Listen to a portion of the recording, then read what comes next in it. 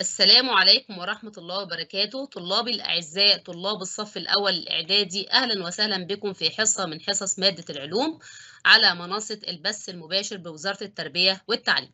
تعالوا نشوف موضوع حصتنا النهاردة عن إيه. هناخد مراجعة على الدرس الأول في صورة أسئلة وبعدين هناخد الدرس التاني. يبقى أول جزء هناخد مراجعة على الدرس الأول. تعالوا مع بعض كده نركز ونشوف أول أسئلة بتقول إيه. بتقول لي اكتب المصطلح العلمي الدال على كل عبارة ما يلي. واحد هي كل ما له كتلة وحجم ويشغل حيز. ده تعريف إيه؟ ده مصطلح بتاع مين؟ بتاع المادة. الحيز الذي يحتوي على البروتو... البروتونات والنيترونات. الحيز اللي, بي... اللي موجود فيه البروتونات والنيترونات هو النواة. وحدة بناء وتركيب جميع المواد قلنا الذرة. جسيمات تشمل على البروتو أو تشمل على إيه؟ البروتونات والنيترونات والإلكترونات. إيه هي الجسيمات دي اللي إحنا كنا بنسميها جسيمات دون الإيه؟ دون الذرية. يبقى تعريف أو المصطلح بتاعها الجسيمات دون الذرية.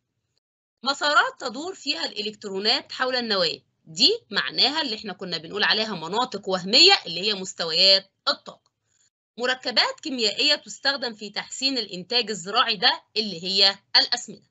عدد البروتونات الموجودة في نواة الذرة ده تعريف مين أو مصطلح إيه اللي هو العدد الذري. مجموع أعداد البروتونات والنيترونات ده العدد الكتلي. الفرق بين العدد الكتلي والعدد الذري ده كان إيه؟ علشان نقدر نجيبه كنا بنطرح. إحنا اتفقنا وقلنا إن العدد الكتلي بيبقى موجود فين؟ أو بنكتبه إيه فين؟ في, في رمز العنصر في أعلى يسار رمز العنصر. أما العدد الذري هو في أسفل يسار رمز العنصر. وقلنا إن العدد الكتلي هو مجموع أعداد البروتونات والنيترونات. أما العدد الذري بروتونات يبقى إذا الفرق ما بينهم إيه؟ هنلاقي هو عدد النيترونات.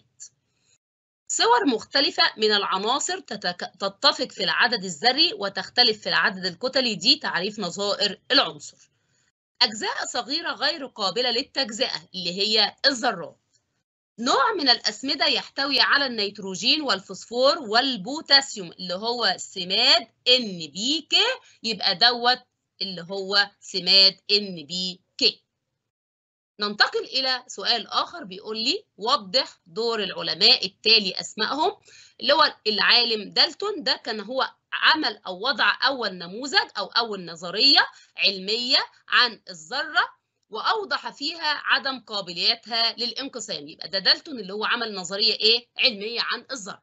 أما العالم رذرفورد عمل إيه؟ وضع رذرفورد أول نموذج للذرة على أساس تجريب. يبقى ما يقول لي نموذج على أساس علمي أو أول نظرية علمية يبقى ده العالم دالتون أما يقول لي أول نموذج على أساس تجريبي يبقى اللي هو العالم رذرفورد سؤال آخر بيقول لي ما الوحدات المكونة لمادة كربونات الكالسيوم؟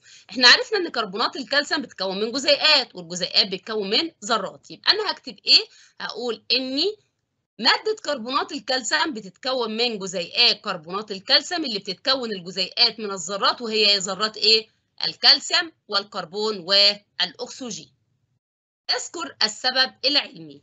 أول سؤال بيقول لي نواة الذرة موجبة الشحنة. ليه هنا بيسألني عن إن أنا قلت إن الذرة ليه النواة بتاعتها موجبة الشحنة؟ عشان إحنا قلنا النواة فيها إيه جواه فيها بروتونات وفيها مين؟ نيترونات. يبقى هنقول لاحتوائها على بروتونات موجبة الشحنة ونيترونات متعادلة الشحنة اتنين تتركز كتلة الذرة في النواة ليه؟ علشان إحنا عندنا قلنا إن النواة فيها بروتونات ونيترونات وبيدور حواليها مين؟ الإلكترونات بسرعة فائقة جدا وكتلتها صغيرة فعلشان كده بنقول إن هي بتتركز الكتلة في النواة لضآلة كتلة الإلكترون إذا ما قورنت بكتلة كل من البروتونات والنيترونات الموجودة داخل نواة الذرة. زي ما إحنا بنسترجع المعلومة بنقول إن البروتونات الكتلة بتاعتها 1 u إيه 1 u دي اللي هي وحدة الكتل الذرية والنيترون كذلك. أما الإلكترون كان بيساوي 1 على 1836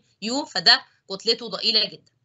تختلف المستويات التي تدور فيها الإلكترونات. ليه؟ إن هنا عندي إن ال ال الإلكترونات لما بتدور في المستويات الطاقة بتختلف ليه؟ لأن إحنا عندنا مستويات طاقة إيه فرعية والفرعية دي بتدور فيها الإلكترونات بأشكال إيه مختلفة. يبقى أنا هكتب لأن كل مستوى طاقة رئيسي يتكون من عدد من مستويات الطاقة الفرعية تدور فيها الإلكترونات بأشكال مختلفة.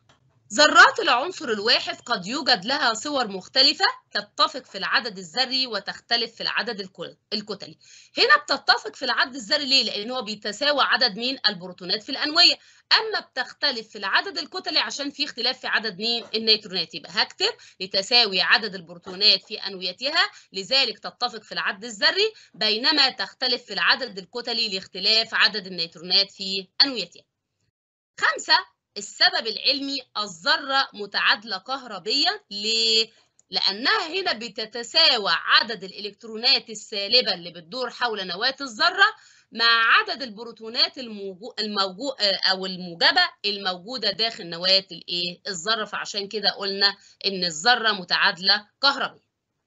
ستة تتفق نظائر العنصر في العدد الذري وتختلف في العدد الكتلي. ليه بتتفق في العدد الذري؟ قلنا علشان هي متساوية في عدد البروتونات. طب ليه مختلفة في العدد الكتلي؟ عشان في اختلاف في عدد مين؟ النيترونات ولو نلاحظ هنا إن إحنا نظر قلنا إن اللي هو كمثال للهيدروجين اللي هو عندنا البروتيوم والديوتريوم واللي هو التريتيوم. قلنا هنا عندي في مثلا البروتيوم كان عدد البروتونات واحد زيه برضو الديوتريوم عدد البروتونات واحد واللي هو التريتيوم كان عدد البروتونات واحد. نيجي بقى في اختلاف مين؟ النيترونات. هنلاقي النيترونات هنا في البروتيوم ما فيهوش نيترون. ليه؟ عشان عندي العدد الكتلي واحد والعدد الذري واحد. أما في الديوتريوم دوت فيه اللي هو النيترونات كام؟ واحد ليه علشان أنا عندي عدد الكتل اتنين والعدد البروتونات إيه واحد أو العدد الذري واحد أما اللي هو التريتيوم بيحتوي على نيترون كم نيترون؟ اتنين ليه؟ لأن أنا عندي عدد ذري واحد والعدد الكتلي إيه كام؟ تلاتة يبقى أنا هكتب إيه؟ لتساوي عدد البروتونات في أنويتها ولاختلافها في عدد النيترونات. ننتقل إلى سؤال آخر بعنوان أو أكتب الرمز الكيميائي للعناصر التالية. واحد كربون الكربون الرمز الكيميائي بتاعه هو C طب بتتكتب إزاي؟ بتبقى C capital يبقى إحنا قلنا لو كتبنا الحرف واحد أو رمز من حرف واحد يبقى هو capital طب لو هو من حرفين يبقى الأولاني capital والتاني small يبقى C capital صوديوم يبقى N A N capital و A small كلور C L يبقى C capital L small أكمل العبارات الآتية. واحد مستوى الطاقة الخارجي لأي ذرة لا يحتوي على أكثر من كام إلكترون إحنا قلنا 8 إلكترونات. اتنين مستوى الطاقة الثاني يعرف بيه إحنا عندنا سبع مستويات للطاقة اللي هو K L M N O P Q ده الثاني اللي هو K L يبقى بيعرف بإيه؟ بالمستوى ال. عدد مستويات الطاقة الرئيسية هي كام؟ سبع مستويات للطاقة. تحدد عدد الإلكترونات اللازمة لتشبع مستويات الطاقة الأربعة الأولى من العلاقة الرياضية 2N أس 2 أو 2N أس 2 ودي بتنطبق على الأربع مستويات الأولى من مستويات الطاقة. إحدى العناصر عدده الذري 11 وعدد الكتل 23 احسب عدد الإلكترونات. إحنا اتفقنا إن إحنا عندنا إن العدد الذري هيساوي عدد الإلكترونات هيساوي عدد البروتونات يبقى هنا أنا عندي هنا العدد الذري يبقى عدد الإلكترونات كام؟ 11 طب البروتونات؟ 11 لأن هو العدد الذري. هو تعريفه عدد البروتونات الايه الموجبة الموجودة. وهو هنا علشان إحنا الذرة متعادلة كهربية يبقى البروتونات هتساوي مع مين؟ مع الإلكترونات. يبقى عشان كده قلت إن العدد الذري بيساوي عدد الإلكترونات بيساوي عدد البروتونات يبقى 11 طب عدد النيوترونات بنجيبها منين؟ اللي هو العدد الكتلي ناقص العدد الذري يبقى 23 ناقص 11 يبقى كام؟ 12 اختر الإجابة الصحيحة واحد يعتبر نموذج نقط أول نموذج للذرة على أساس تجريبي. أنا عندي حاجتين على أساس علمي وعلى أساس تجريبي. أساس علمي اللي هو مين؟ دالتون. أساس تجريبي مين؟ يا ترى بور ولا مندليف ولا موزلي ولا رذرفورد هو رذرفورد في نواة ذرة العنصر. يكون غالبا عدد نقط أكبر من أو يساوي عدد البروتونات العدد الذري ولا الإلكترونات ولا النيترونات ولا الجزيئات هو عدد النيترونات. عنصر نقط يلزم لتقوية الجذور أو اللي هو الأكسجين ولا ال K اللي هو البوتاسيوم ولا ال P الفوسفور ولا ال N اللي هو النيتروجين. تعالوا مع بعض كده نسترجع المعلومة. أنا عندي N N ده إيه اللي هو النيتروجين. ده ده لازم لاغضرار أوراق النبات.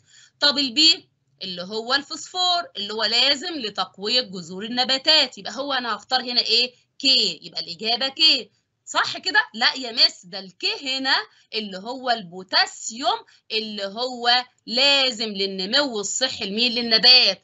أما ال P اللي هو مين؟ أنا لسه قايلة اللي هو الفوسفور اللي هو لازم لتقوية مين؟ الجذور. يبقى أنا هختار هنا P.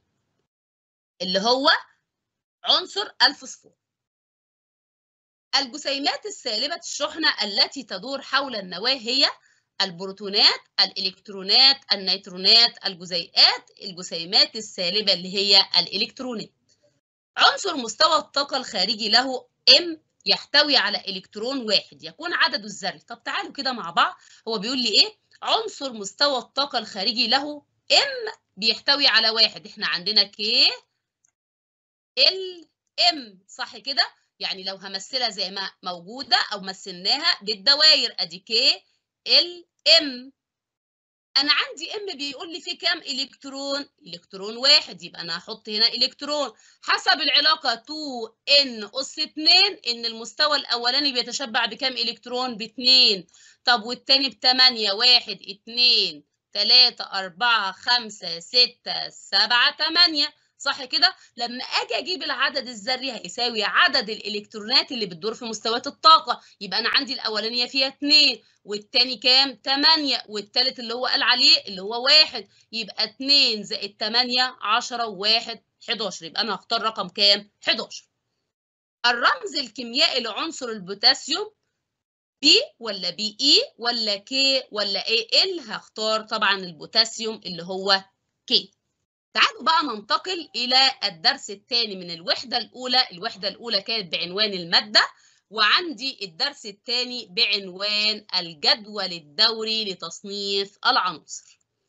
يبقى إحنا موضوع حصتنا النهارده إحنا راجعنا الأسئلة على الدرس الأول، انتقلنا إلى الدرس الثاني بعنوان الجدول الدوري لتصنيف العناصر. تعالوا نشوف نواتج التعلم في نهاية هذا الدرس ينبغي أن يكون الطالب قادرا على إيه؟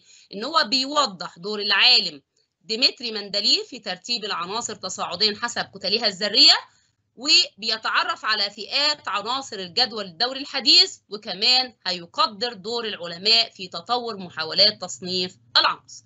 تعالوا مع بعض نشوف أول جزئية هي محاولات تصنيف العناصر. إحنا عرفنا إن العلماء عندنا بدأوا يكتشفوا إن إحنا عندنا وصلوا لاكتشاف العناصر اللي هي 118 عنصر وموجودين في الطبيعة 92 عنصر والباقي بيصنعوه في المعمل. فبدأوا إن هم عشان يسهل الدراسة بتاعت. العناصر دي بدأوا إن هم يعملوا محاولات عشان يصنفوها. فعشان كده هنبص تلاقي إن في كتير من العناصر بتختلف في الخواص الطبيعية بتاعتها والكيميائية. يعني إيه خواصها أو خواصها الفيزيائية والطبيعية يعني إيه معنى كلمة فيزيائية اللي هي الخواص الطبيعية بتاع الايه بتاع العناصر دي عشان كده إن العلماء قاموا بصنفوا أو قاموا بتصنيف مين العناصر لما جم يصنفوا العناصر لقينا علماء كتير عمالين يحاولوا وكترت المحاولات بتاعتهم لتصنيف الايه؟ العناصر. فعشان كده بيقول لي تعددت محاولات العلماء لتصنيف العناصر. يجي سؤال ويقول لي علل ليه؟ ليه تعددت؟ عشان هم عايزين يعملوا إيه؟ عشان يدرسوا العناصر بسهولة ويشوفوا ويستنتجوا إن في علاقة ما بين العناصر دي والخواص بتاعتها الفيزيائية والكيميائية. يبقى هكتب ليه ما يقول لي علل تعددت محاولات العلماء لتصنيف العناصر أقول له لتسهيل دراستها واستنباط يعني استنتاج العلاقات بين العناصر وخواصها الفيزيائية والكيميائية. من أهم المحاولات هنا عندنا ثلاث محاولات من أهمهم أول حاجة الجدول الدوري لمندليف تاني محاولة الجدول الدوري لموزلي دي أهم هذه المحاولات لكنها المحاولات دي إيه؟ كترت. ثالث حاجة الجدول الدوري الحديث. تعالوا مع بعض ناخد أول جدول دوري المندليف. ده الجدول ده أول جدول دوري حقيقي بيصنف العناصر. يبقى أما يقول لي أول جدول دوري حقيقي لتصنيف العناصر هقول له مين؟ الجدول الدوري لمندليف. هنا لقينا إن مندليف بدأ ياخد العناصر ويرتبها في الجدول بتاعه، الجدول بتاعه لما رتبه كان بيرتبه على حسب الكتل الذرية أو كتلة الذرة بس كان بيرتبها ترتيب تصاعدي بدون إن هو ينظمها لما يجي يتنقل في الجدول بتاعه من يسار الجدول إلى يمينه لما حطها في صفوف أفقية اللي بعد كده سموها بالدورات. عشان كده بنقول إن مندليف رتب في جدوله العناصر ترتيبا تصاعديا حسب كتلها الذرية دون تدرج منتظم لما اتنقل من يسار الجدول إلى يمينه في الصفوف الأفقية اللي هي اتعرفت بالدورات. يبقى الدورات اللي هي الصفوف الأفقية من الجدول مين؟ الدوري بعد كده مندليف اكتشف إن خواص العناصر دي بتتكرر بشكل دوري مع بداية كل صف جديد يعني كل دورة جديدة. طب نيجي بعد كده المحاولة الثانية اللي هو كان في هنا. هنقول عيوب لجدول دوري مندليف فبدأ الجدول أو موزلي العالم النيوزيلندي آه رازرفورد جه وقال ودرس علشان ده اللي بنى على أساسه موزلي الجدول الدوري فقال العالم النيوزيلندي رازرفورد قال إيه؟ ده في الذرة ليها نواة ولما هو هنا الذرة دي اكتشف إن فيها إيه؟ بتحتوي على بروتونات موجبة الإيه؟ الشحن. قام العالم موزلي هو إنجليزي واكتشف فعلا إن دورية العناصر يعني إيه دورية؟ يعني التكرار بتاع خواص العناصر بترتبط بالعدد الذري وليس بكتلها الذرية كما كان يعتقد مندليف لذلك هنا إن هنلاقي إن موزلي بدأ يعمل في الجدول الدوري لموزلي إن هو يرتب العناصر ترتيبا تصاعديا حسب العدد الذري وليس بالكتلة الذرية. ليه؟ كمعلومة إسرائيلية لأن هو بدأ يدرس الأشعة السينية للعناصر فلقى بعد دراسته الخواص الأشعة السينية للعناصر دي لقى أن دورية الخواص العناصر بترتبط بالعدد الذري وليس بالكتلة الإيه أو بكتلها الذرية. دي كمعلومة إسرائيلية. طب نيجي بقى أهم تعديلات موزلي على جدول مندليف أول حاجة إن هو رتب العناصر ترتيبا تصاعديا حسب أعدادها الذرية بحيث إن نلاقي إن العدد الذري بيزيد لكل عنصر عن العنصر اللي قبله في نفس الصف أو نفس نفس الصف الأفقي أو نفس الدورة بمقدار واحد صحيح. يعني مثلا على سبيل المثال أنا عندي إن إيه ده العدد الذري بتاعه 11 وده موجود في الدورة الكام؟ في الدورة الثالثة أو الصف الثالث الأفقي أو إحنا بقى خلاص إحنا عرفنا إن الصفوف الأفقية اسمها دورات فهو بيقع في الدورة مين؟ الثالثة طب هنلاقي اللي جنبه اللي هو الام جي اللي هو العدد الذري هيبقى كام؟ هو ده عدده الذري 11 يبقى ده ما هو ده في نفس الدورة بتاعته يعني ده التالتة يبقى هو بيزيد بمقدار واحد صحيح اللي هو كام؟ هيبقى 12 يبقى عشان كده بنقول إن موزلي لقى إن إن العدد الذري لكل عنصر عن العنصر الذي يسبقه في نفس الدورة بيزيد طبعا بمقدار واحد إيه صحيح. تاني حاجة لقى إن الجدول بتاعه الدوري بدأ يضيف له مجموعة الغازات الخاملة يعني إيه الغازات الخاملة؟ الغازات الخاملة دي بنقول عليها كمعلومة برضو إسرائيلية الغازات الخاملة أو الغازات النبيلة اللي هي مجموعة من الغازات لا تشترك في التفاعل الكيميائي ليه؟ قال لنا علشان المستوى الطاقة الخارجي لها مكتمل بالإلكترونات فعشان كده ما بتشاركش مع حد في التفاعل مين؟ الكيميائي وكمان برضو أضاف إلى الجدول بتاعه العناصر الأخرى اللي تم اكتشافها بعد ما مندليف عمل جدوله الإيه؟ الدوري. تالت حاجة الجدول الدوري الحديث. ظهرت طبعا في قصور حصلت في جدول الدوري المندليف فعشان كده العلماء اضطروا إن هم يحاولوا يطوروه لغاية ما وصلنا إن في إيه؟ إن في موزلي بدأ يقول لأ ده دورية العناصر بترتبط بالعدد مين؟ الذري. فعشان كده بدأ إن في محاولات أخرى تتم عشان تطور وبناء على كده بدأ يعيدوا ترتيب العناصر في جدول جديد اسمه الجدول الدوري الحديث. بدأوا يرتبوا العناصر ترتيبا تصاعدا تصاعدي بتدرج منتظم. لذلك على أساس إيه؟ على أساس العدد الذري أو أعدادها الذرية اللي بتاع العناصر وطريقة ملء مستويات الطاقة الفرعية بالإلكتروني. عشان كده إن لما يجي يقول لي الأساس العلمي لتصنيف العناصر في الجدول الدوري المندليف هقول له إيه؟ إن ترتبت العناصر ترتيبا تصاعديا حسب كتلها الذرية. أما الأساس العلمي لتصنيف العناصر في الجدول الدوري المزلي إن رتبت فيه العناصر ترتيبا تصاعديا حسب إيه؟ أعدادها الذري.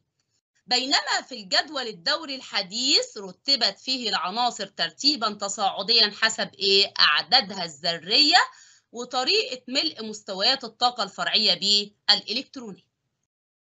تعالوا ننتقل إلى وصف الجدول الدوري الحديث. عشان نوصف الجدول الدوري الحديث ان أنا عندي هو بيتكون من سبع صفوف أفقية وقلنا يعني إيه صف؟ اللي هو دورة. فإحنا مش هنقول صفوف أفقية إحنا عارفين وفاهمين إن يبقى اذا إن الصف الأفقي ده اللي هو بيسمى دورة. يبقى هنا الجدول الدوري الحديث بيتكون من سبع دورات بتبدأ كل منها بملء مستوى طاقة جديد. على سبيل المثال تفسير دي إيه؟ إن أنا عندي مثلا هنا ال اي 3 اللي هو الليثيوم هنلاقي هنا لما نوزعه هيبقى إيه؟ كي ب 2 يبقى 2 من 3 يبقى اتفضل واحد يبقى ال بكام؟ بواحد. تمام كده؟ طب اللي بعده بقى فين؟ في الدورة. دي هنا كده الدورة مين؟ الدورة الثانية تمام كده؟ طب اللي بعده مين؟ هنلاقيه اللي هو الصوديوم. طب تعالوا نوزع الصوديوم كده ان إيه 11 ان إيه 11 يبقى لما أجي أعمل توزيع إلكتروني أدي المستوى الأولاني بيتشبع بكام؟ 2 إلكترون. أنا هكتبه أو نعمل الدوائر. خلاص؟ بعد كده عندي ال بكام إلكترون؟ ب 8 1 2 3 4 5 6 7 8 كده 2 و8 10 دي من 11 يتفضل لي إيه؟ واحد. مش ملاحظين حاجة؟ آه ده إحنا ملاحظين إن هنا كان كم مستوى طاقة؟ اتنين لكن هنا كم مستوى طاقة؟ تلاتة عشان كده بنقول إيه؟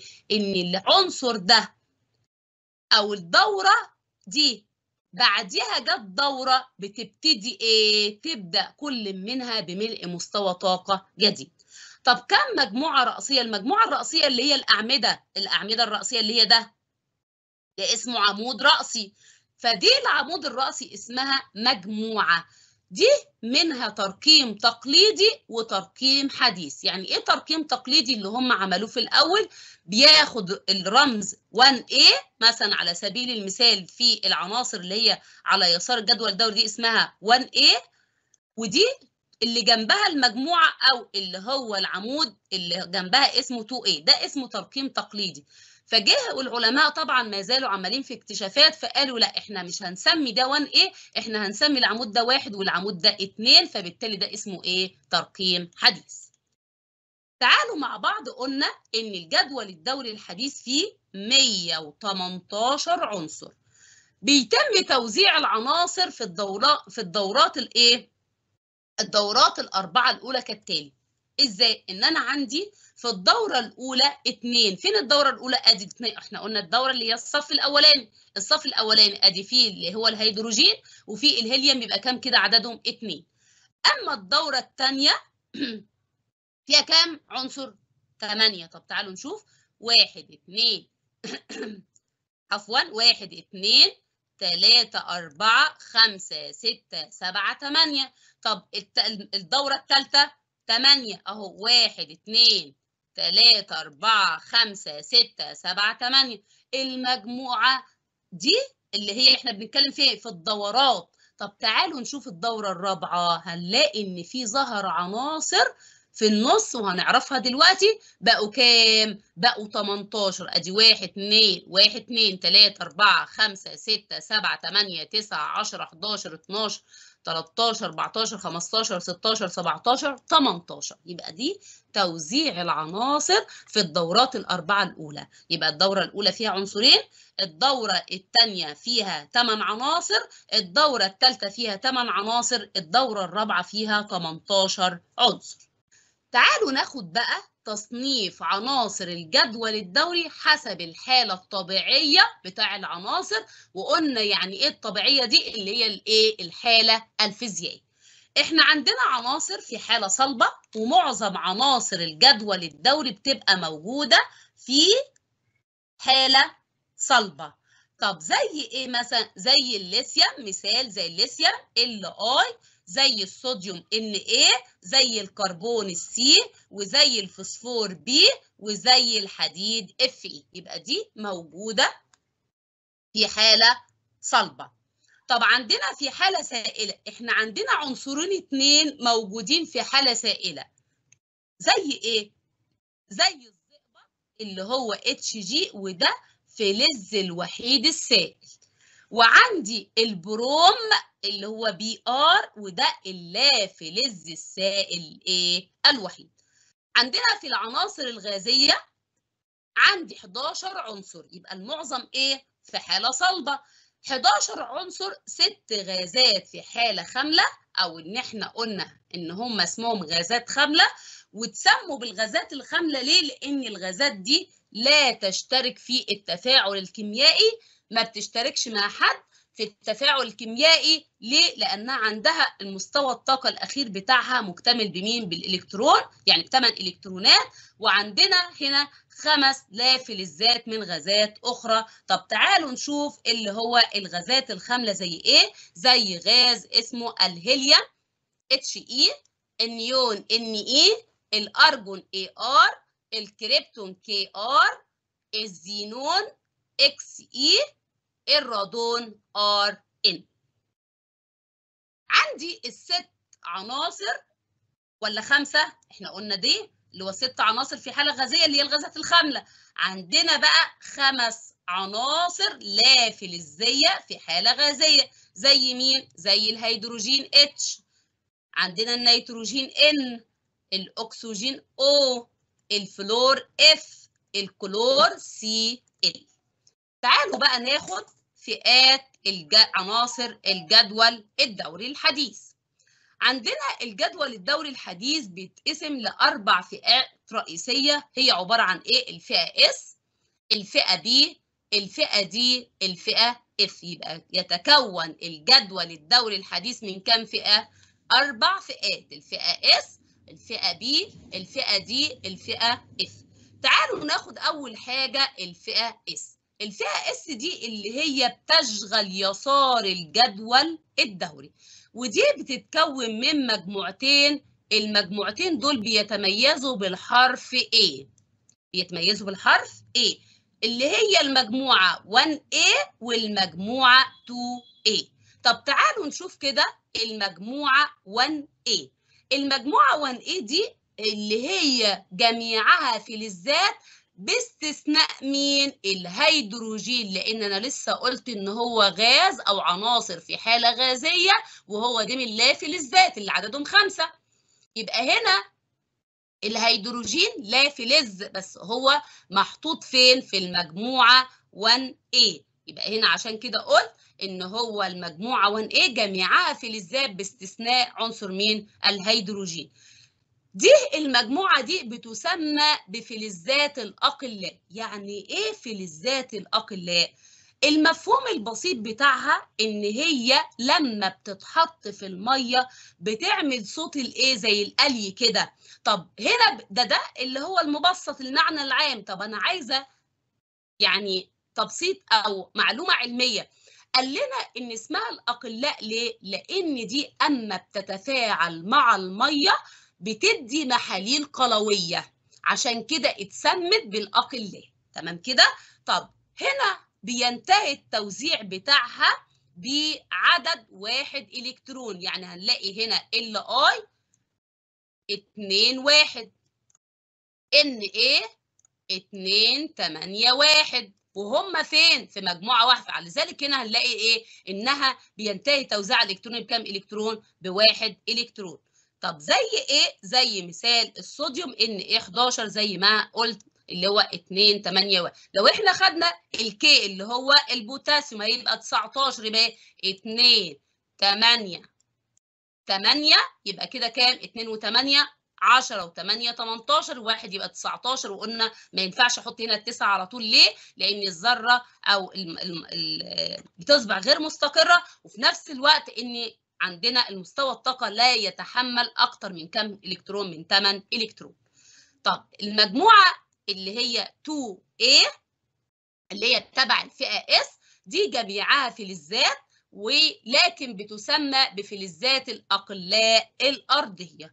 وهنلاقي هنا اتسمت بالأقلاء الأرضية دي ليه هنلاقيها إن النشاط بتاعها أقل من الأقلاء اللي هي ال1 a بنبص نلاقي هنا هنا بنقول ان اتسمت بالأقلاء الأرضية لأن العناصر بتاعتها بتتواجد في القشرة. مين؟ في القشرة الأرضية.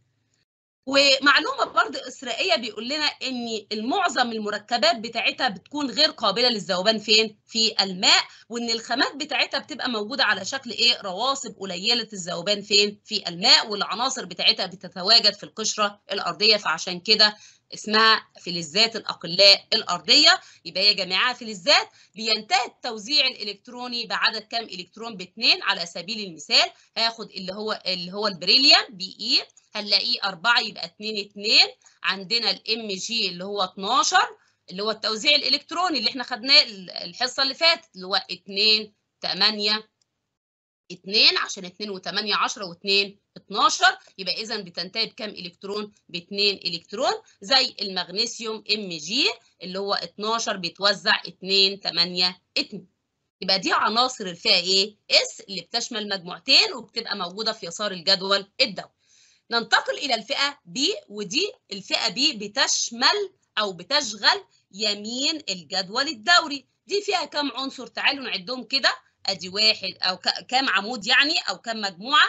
واحد اتنين تلاتة اربعة خمسة ستة. يبقى هنا بتتكون من كام مجموعة؟ من ست مجموعات. وبرضو المجموعات بتاعتها بتتميز بالحرف إيه؟ A. فلذلك هنا عندي الترقيم التقليدي بتاعه 3 A 4 A 5 A 6 A 7 A. دي المجموعة الصفرية. يبقى ده اسمه الترقيم الايه؟ التقليدي. أما الحديث دي ترقيمها 13 14 15 16 17 18 يبقى دي بتتكون من ست مجموعات بتميز أرقامها أرقام مجموعاتها بالحرف إيه باستثناء المجموعة مين الصفرية اللي هي بتج أو بتشمل اللي هي الغازات الإيه؟ الخام. هنلاحظ هنا إن المعظم عناصرها بتكون لا فلزات بالإضافة إلى في أشباه فلزات بالإضافة إلى بعض الايه بعض الفلزات الأخرى.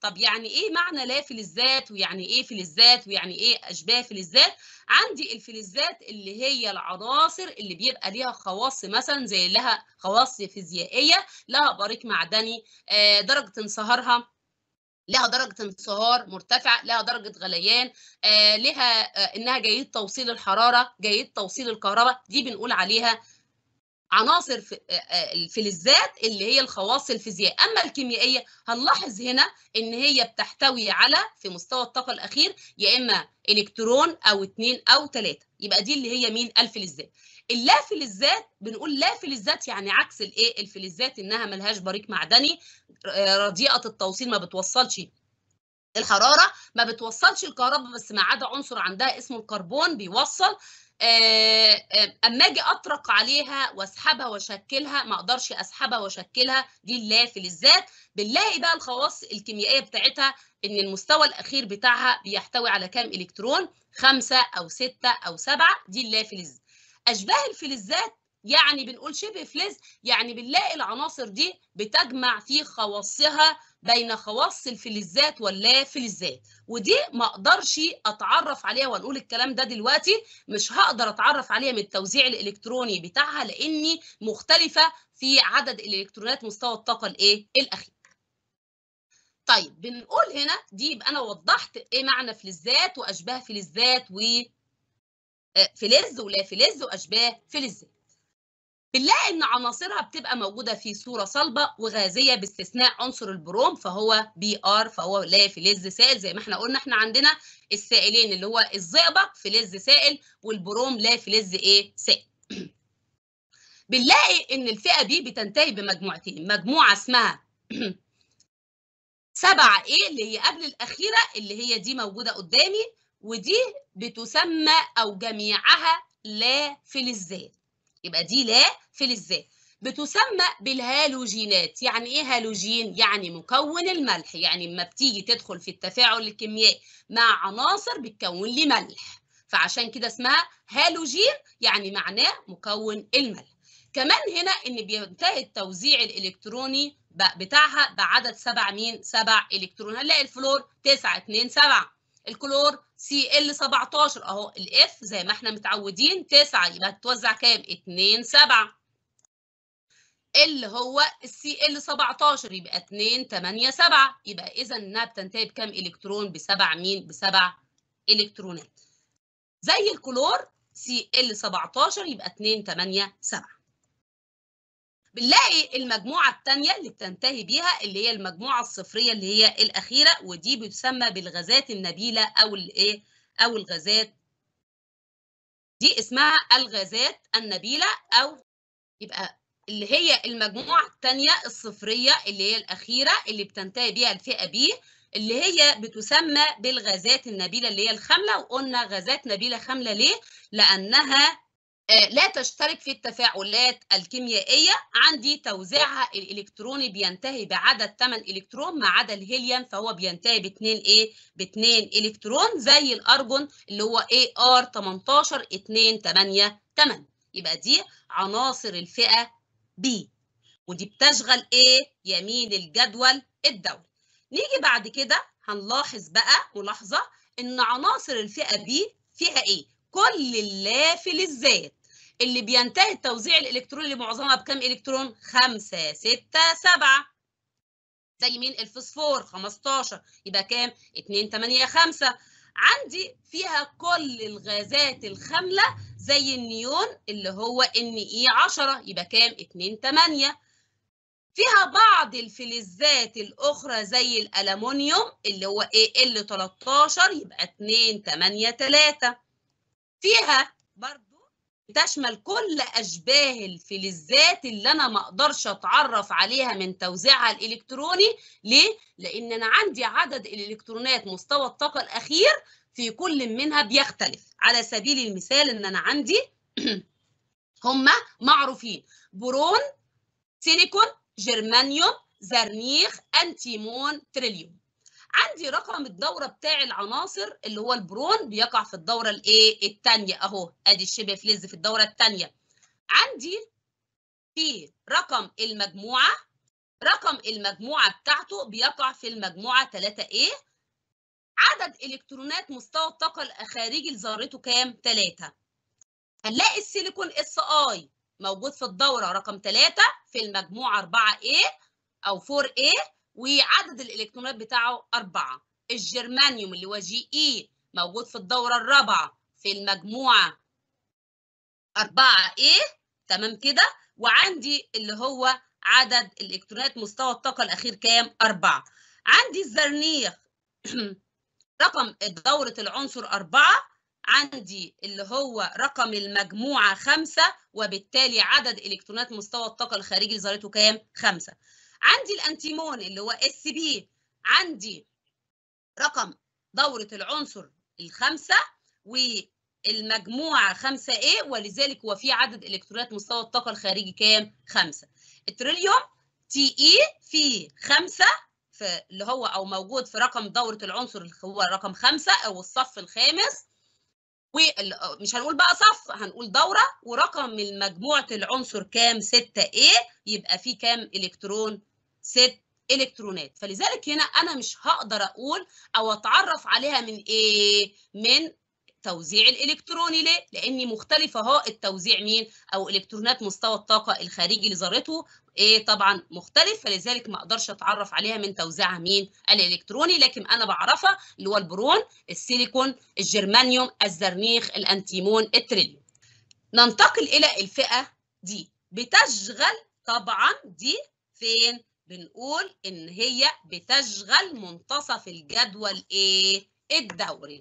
وبنلاقي الفئة دي دي بتعمل إيه بتفصل ما بين الفئة أو عناصر الفئة اس وعناصر الفئة B اللي هو يسار الجدول الدوري ويمين الجدول الدوري. دي جميعها فلزات بيبدأ ظهورها من الدورة الرابعة وبتسمى بالعناصر اللي هي الانتقالية أو بالفلزات الانتقالية. يعني إيه العناصر الانتقالية أو الفلزات الانتقالية؟ إن هي علشان نظرا لموقعها المتوسط في الجدول الدوري ما بين عناصر الفئه S وعناصر الفئه P علشان الخواص بتاعتها بتعتبر انتقالية ما بين خواص الايه المجموعة اللي هو S وخواص المجموعة إيه P فعشان كده بنقول اسمها العناصر مين أو فلزات الإيه الانتقاليه الفئه F بتقع أسفل الجدول الدوري. ودي طبعا جميعها فلزات كمعلومة إسرائيلية بتسمى بعناصر اللانسينيدات والأكتينيدات. تمام كده؟ طب دي بالنسبة لفئات الأربع فئات بتاع الجدول الدوري.